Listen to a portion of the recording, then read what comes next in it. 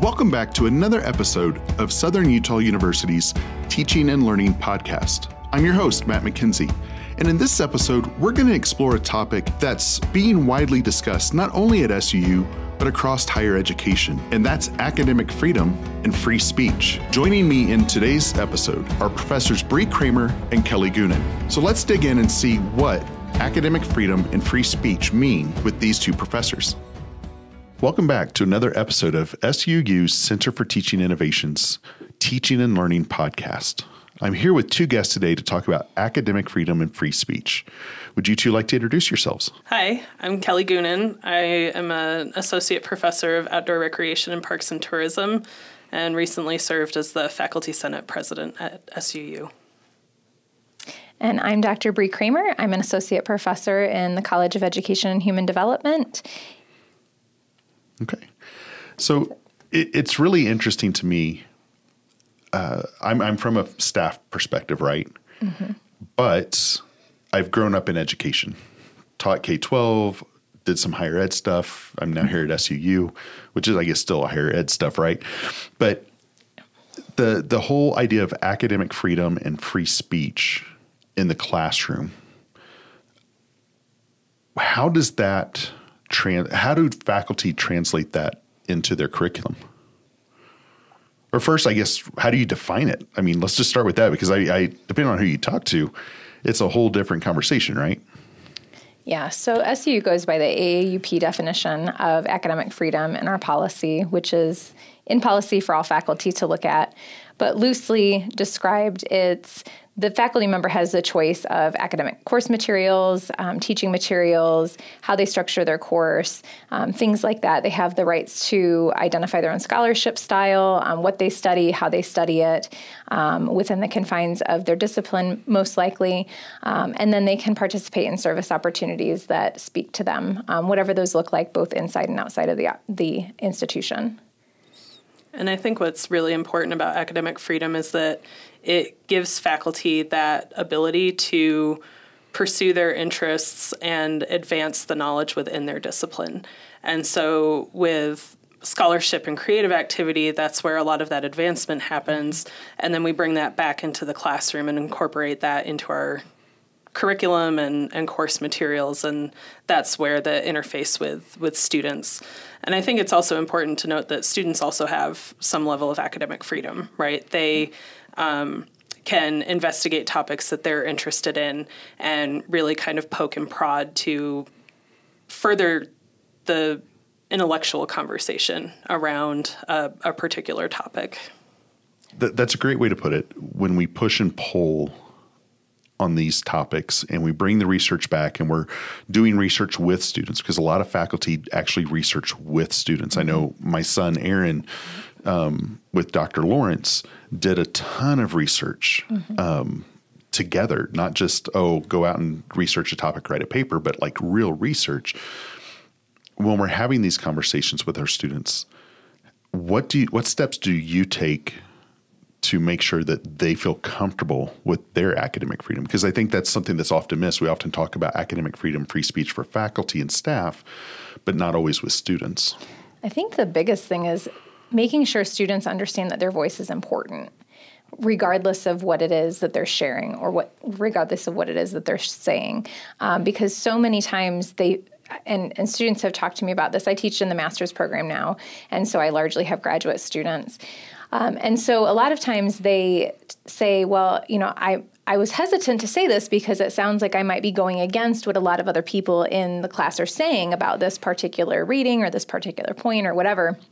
But those viewpoints are very important because I I would hope that no professor really goes in saying this is exactly what I, the knowledge I want my students to walk out with. Every student coming into that class brings in their own knowledge that they've already built. They bring in their own experiences and that helps shape their own learning. And we can't mold that for them because we don't know what those experiences or what those what those um, you know life pieces have been walking into our classroom. So they're going to make out of our curriculum what they take out of it. And, and it might not always align with like our goals and objectives as an instructor but i think that that's okay. I think that it's important for the student's voice and the student's knowledge to come through very clearly um, and to let them know that um, I don't personally, as an instructor, have an agenda for exactly what I want them to connect with, what I want them to agree with, what I want them to disagree with. I think any conversation that we can have about the material in the class is going to be a generative conversation, whether that means that half their peers disagree with them or agree with them, it doesn't really matter. Um, it's that they're doing the analysis, they're doing the work, they're thinking through, they're building new understandings, and regardless of what those are, when they walk out with them, that's what makes a successful successful learning experience for the student. And I think it makes a successful learning experience that the instructors created as well. And I think with your example about doing research with students, there are a lot of steps that go into that. The first is it's really important for them to understand the research process. They need to understand how to find the background information, how to synthesize that information, find kind of those threads of maybe common understanding or key principles or concepts in the field, and also to find those gaps. Because I think what Bree is saying here about asking different questions and taking a different perspective, that's really where um, research becomes almost a, a, creative activity too. And having that faculty guidance in the process and then giving the students the freedom to say, this is something that I think is really interesting and I want to dig a little bit deeper into it. And then teaching students, I, I fully agree with Bree what she said about um, the student's voice is really important. And I think a lot of times students are afraid to disagree with a faculty member or to raise a counterpoint or different perspective. And yeah. part of academic freedom, I, I think we can't have academic freedom unless we also create safe learning environments in our classroom and cultivate those relationships where it's okay for us to have different perspectives and we actually encourage that and we want to have respectful dialogue and I'm not trying to change anybody's mind or change what they value or think is important. I'm just asking them to consider other people's perspectives and other people's experiences and to understand that as as Bree mentioned, we're all coming in with a unique perspective on something. And if we contribute those perspectives together, we actually come out with something a lot richer than if we're only presenting one particular perspective. And, and you bring up a great point of that research process and having them go back and find out what does the research say before we do this study. Mm-hmm. You know, it's not oh I just saw this post on Facebook, so therefore it must be true, right? Um, and I think of that great meme of like Abraham Lincoln, Lincoln saying something about the effect of uh, if it's on the internet, it's true or something like that. You know, um, but but that's a great point. We have to take our students back and we have to say, let's talk about how did we get to this point? How did we get to this understanding so that we can take that further? Um, you both brought up a great point that our students, and, and I'm curious how you each handle this because you, are both in different fields. Mm-hmm. But groupthink is a real thing mm-hmm. with with learning, and that's true of adults and true of students. How do you combat groupthink when a student's afraid to put up a differing opinion because so many other people and I teach a lot of online courses so I guess I should preface it with that. I teach a lot of online courses so a student may not get to the discussion until after there's several posts already supporting one mm-hmm. viewpoint. How do you combat groupthink and get those students to provide that alternative perspective? So I teach online as well, but I teach more a little hybrid. Um, asynch- I, they do asynchronous discussions, but then we have the Zoom sessions in person um, on uh, or I guess, in person as hybrid as they can be, right? Um, and so in the discussion boards, uh, and I even did this with undergrads, um, so this is not just reserved for graduate students, but I would have my graduates or my students sign up for weeks to lead the discussion. And they could pose whatever question they wanted um, from the readings, from the curriculum materials. So that could be videos, multimedia. Um, you know, obviously there were readings every week, but they could pose a question from anything um, that they connected with. So as long as it was rooted in what we were studying, what we were learning about that week, um, they, you know, their voice came in and the way that they crafted their question, the way that they asked it, what they asked their peers about the question. Um, and then in the responses, they had to cite material from the class responses or from the classroom materials as well. And so I think that helps that dialogue so that no one feels constrained in terms of I have to speak this way or I have to create a question that's positive about the curriculum materials. They could totally, and a lot of my students have, crafted questions that were very critical of some of the curriculum pieces and right you know that's a great way to look at something is through critique and so that's uh, that piece of uh, student academic freedom is really important and then in the zoom sessions when we're live um, you can always ju- guess right by the by the discussion how anything's going either in person or, or on zoom based on the responses that are being given, based on how students are, are talking about perhaps an answer, providing examples for a certain question. Um, the way it's going. So I always make sure to ask like does anyone have an opposing view? Does anyone have a, a, different idea that they'd like to contribute to this conversation? Does anyone have a different experience that they with this topic than what your peers have shared? And I think that that's very important to do because even when we when it seems like somebody or that everybody agrees on something um, there's going to be someone that has a different experience or a different um, thought about the situation that we might be talking about. And especially since I teach current teachers, everybody's got a different thought on things and has different experiences. So it's really important for them to bring those out um, in the conversation. And so if they don't do that on their own, that's really when the instructor should start asking those types of questions. And honestly, as the instructor, I stay out of their discussion boards. I do not insert myself in the discussion boards. I allow them to have their asynchronous discussions. Um, you know, I will monitor them, I will grade them, um, but I do not interject anything in them. Um, I allow them to have their conversations on their own. And then in our Zoom sessions, I have the students bring questions or topics that they would like to discuss. I don't come in with an agenda as an instructor.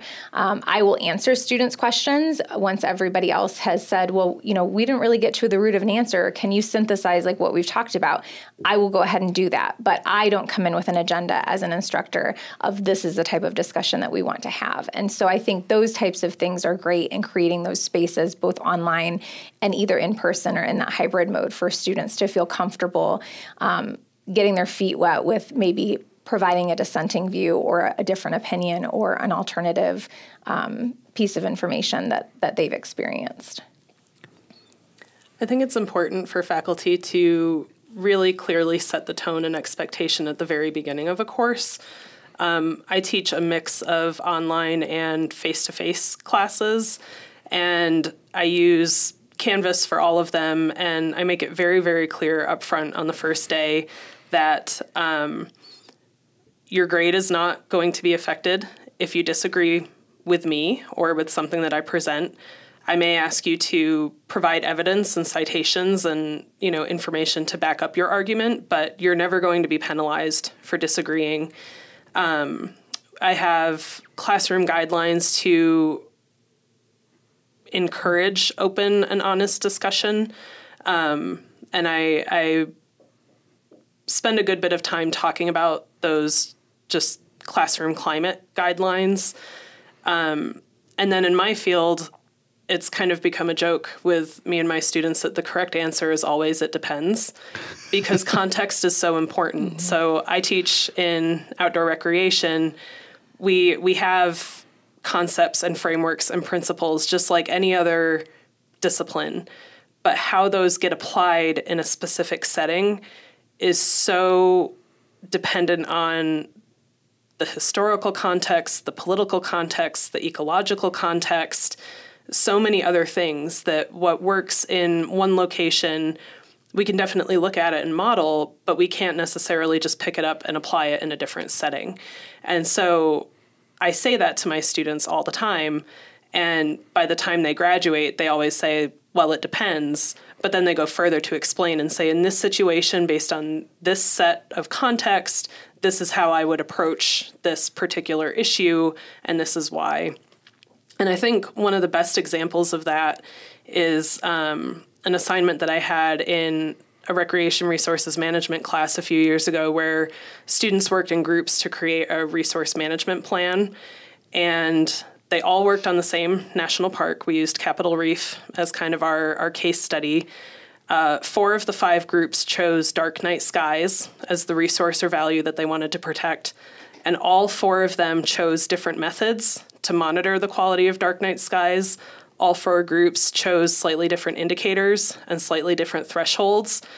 And they were all quote unquote right because they they used proper methods. They demonstrated that they understood the framework and the principles involved and they justified their recommendations and and were able to to show that. And that was something that I I intentionally paused and pointed out to the class to say look we have four groups who chose the same thing and they all approached it differently and they all did it right. So how can you have multiple right answers to one situation. And I think that really helps the students see oh, it is okay to a- approach, there are valid ways to approach. Um, the same topic from from multiple perspectives because I think at, at, least when I get students in my GE class and and my lower level classes, they're so worried about being right mm-hmm. that they're they're afraid to express different opinions or to ask questions that might be a little bit. And so I, I think faculty can really set the tone in their class and, and model that for their students in a variety of ways that are appropriate to their discipline. Yeah. I, I, sometimes will go back and play devil's advocate once in a while mm-hmm. with my discussions. Um, I'm kind of the same way. I let my yep. students lead those discussions, and I only get involved when someone's going way off track. but sometimes, if the discussion's like yep turns into that I agree, I agree. I'll be like, well, I, I don't, and here's why. Mm-hmm. Now tell me why I'm wrong. Mm-hmm. You know, and it's fun to do that. You, have both brought this up, and Kelly, you, you mentioned it almost specifically about creating that culture or that environment in the classroom that allows for this disagreement to allow students and faculty to have that academic freedom to push and pull. When you think about that, what do you see as one of the most key factors in establishing that, and I'm going to use a strategic plan word here, that culture of caring um, or enriching that academic experience of a student. How do you, what are some of those really top things that a faculty member here at SU or anyone listening could implement to create that environment? I think, again, just being really explicit with what is the climate or the culture that you want to create in your classroom. Um, most faculty don't want to just sit and lecture to a silent room, right? They want students to be engaged, they want students to ask questions, they want them to be interested. And so, really being explicit in your syllabus and your course introduction about this is the way the class is going to run, these are the kinds of activities we're going to do. Um, this is what I'm expecting of you. And I always tell my students one of the reasons that I enjoy teaching so much is I always learn something new. Even if I've been teaching the same class multiple times a year for 10 years, because of the people in that class, and also just because our knowledge is always evolving, I always come away with something different. And um, I put a lot of emphasis on those group activities because number one in real life at least in my field you're never going to be working as an individual. You're always going to be working as a part of a team where everybody brings their own unique expertise and then collaborates to achieve a particular goal. Um, i also think i'm pretty smart. You are. I think you my are. stu- I think my students are really smart, and I try to encourage them and say, I have knowledge that I can share with you, and I have experience that I can share with you, but you have experience and knowledge that you can share with everybody in this classroom too, right? It shouldn't just be Dr. Goonan being the source of all information. It should be the collective group in that classroom. And I think being explicit in that and kind of setting that tone, it gets the students excited because they feel like they have something to contribute and that they're not just there to take something from the class. And I think that's where you can really get students a lot more engaged and they start asking more of those really deep, critical, thought provoking questions that we want our students to be able to ask. I, I like that. That reminds me, I was just reading a book about professional learning communities, and the principal in the K twelve building changed their name, their their job title to head learner, mm-hmm. to establish the idea that we're all learning. So I, that that's what made me. That's what ran through my head when you're like, yeah, we we need to understand we're all learning and it's a journey together. So, anything, Dad? I think the other thing that I would add to what Kelly said is building relationships is really important because when students feel and I, I, hesitate to use the word comfortable because we have to understand that some students are never going to feel comfortable in, in certain spaces or certain classrooms. So I'm, I'm going to use that word, but there's like a little asterisk at the end of it. Um, and I think that's important for faculty and staff to remember as well. Um, but I think it's all about developing those relationships the, the faculty's relationship with the students, the students' relationship with their peers. Um, and in a graduate, in our graduate program, it's seven week classes. And so it's it's a challenge, right, to build those relationships. Although they might spend all their program for the next two years with the same uh, cohort of students or group of students, even though we don't use really technically use a cohort model. Um, but if you're in teaching in a major field, like Kelly described, those students probably will have classes together, and so it's really important for us to help them develop those relationships, understand what that looks like, especially between faculty and student because a lot of times depending on whether we teach those really low level undergraduate classes that faculty and, and student dynamic might look a little different than in the upper levels where you're teaching like the major courses that students really are really honed in on to graduate or if you're teaching in the graduate program those relationships are going to look a little bit different too between faculty and students or if you're doing research with students those relationships are a little different as well.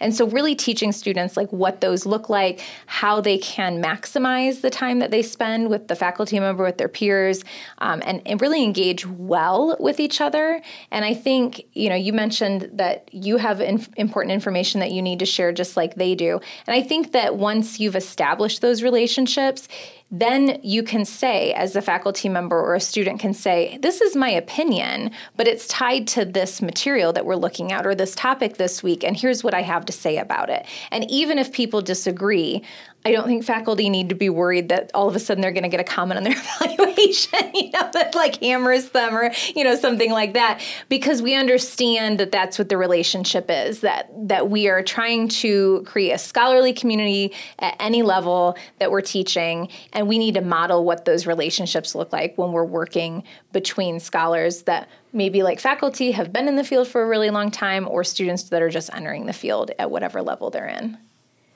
And so that scholarly community with academic freedom is very different when we change that topic to free speech. Mm-hmm. How does academic freedom differ from free speech?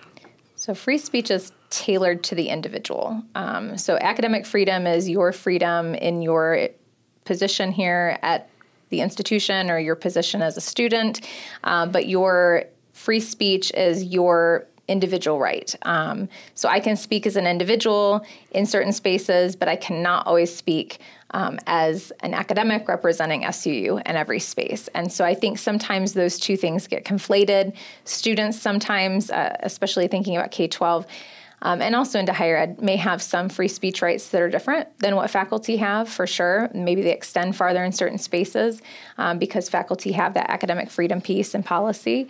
Um, and but that's really kind of the distinction is the individual piece. Uh, first the free speech is going to protect the individual everywhere um, but academic freedom is going to protect us in the institution. Yeah, I, I agree with that. And I think maybe one thing to to kind of help illustrate that is academic freedom protects faculty within the the context of our research and our teaching. Mm-hmm.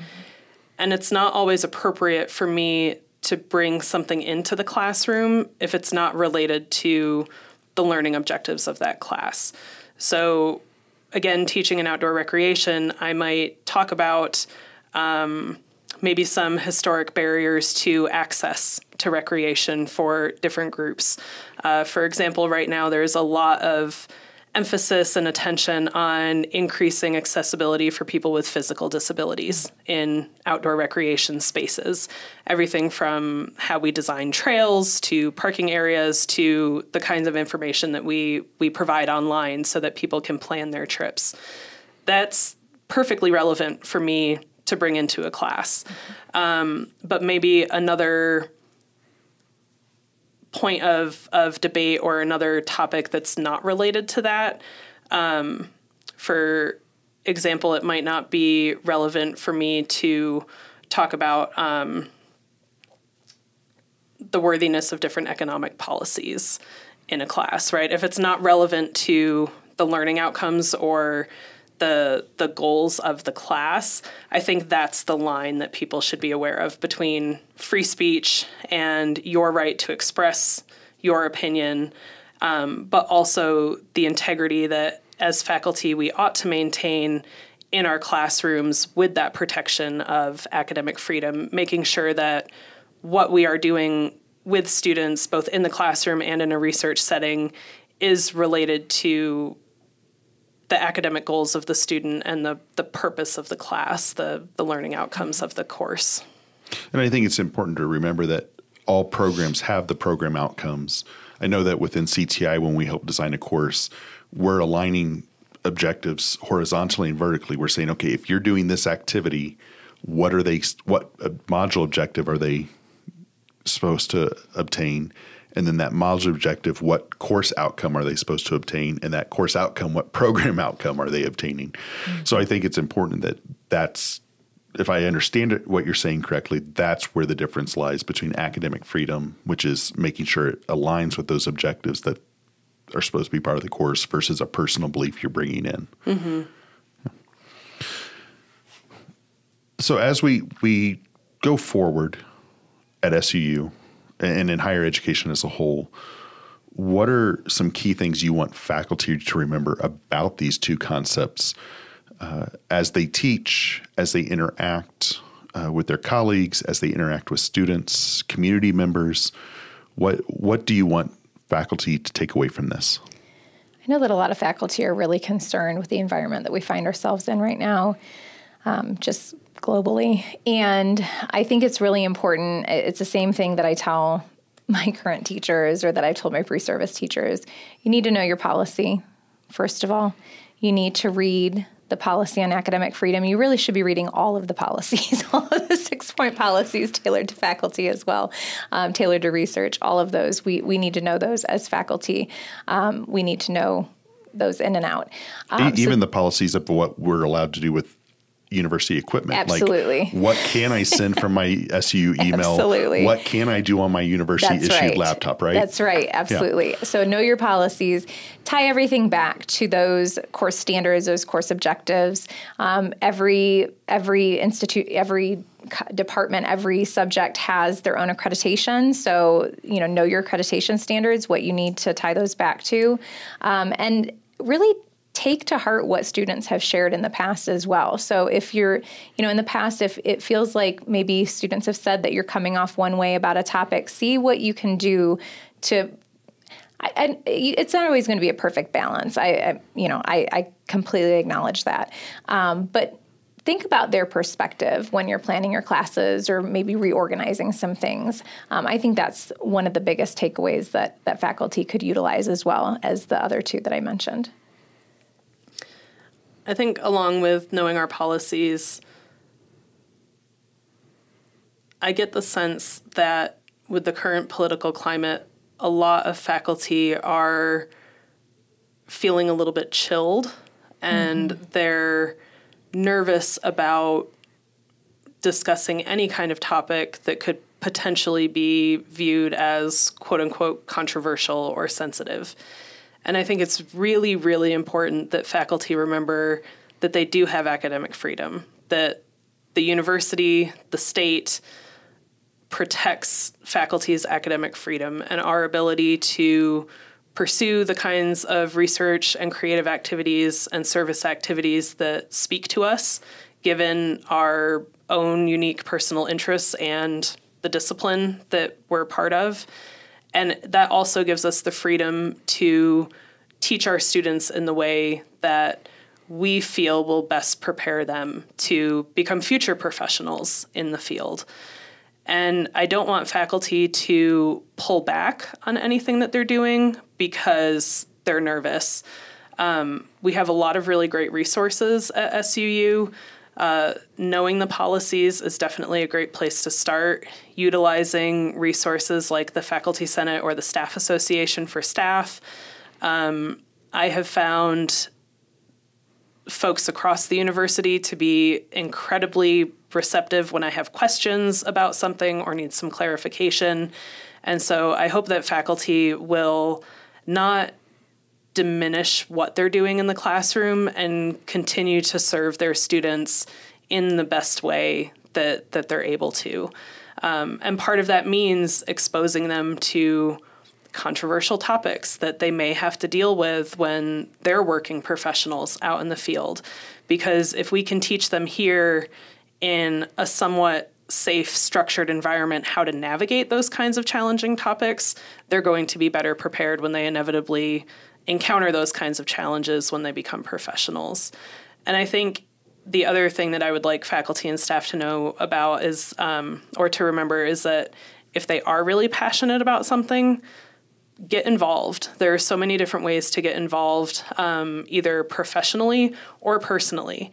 And if you ever have questions about what is a professional activity versus what is a personal activity or something that I'm really passionate about, um, again, utilizing those resources to understand how to engage in a way that doesn't blur those lines between your professional and your personal advocacy or or academic freedom and free speech. Um, I just hope that conversations don't stop because people feel afraid. And, and like you said earlier, it, this is a journey. We're we're learning how to navigate this new global reality of higher education being under attack to an extent, mm-hmm. especially in certain areas, and we're going to make mistakes, but it it's going to be important to do that. Thank you both, Kelly, Bree. Thank you both for taking the time to meet with me today to talk about academic freedom, free speech. I, I have zero doubt we could sit here for another couple of hours and discuss this um, because it is such a big topic and, and complicated topic. Um, and so we may have to have you guys back to to talk about this further. But I appreciate you taking time today to to meet with me. Thanks. Thank you. As discussed in the episode, it's important to remember that we need to tie what we're teaching back to our course and program outcomes. We'll see how this impacts us as we go into the next episode, as we talk with Chelsea Gambles in the Family Life and Human Development Department here at SUU. In that episode, we're going to talk about pre learning strategies that we as faculty can use to help prepare our students for tough conversations in the classroom. Join us next time on the SUU Teaching and Learning Podcast.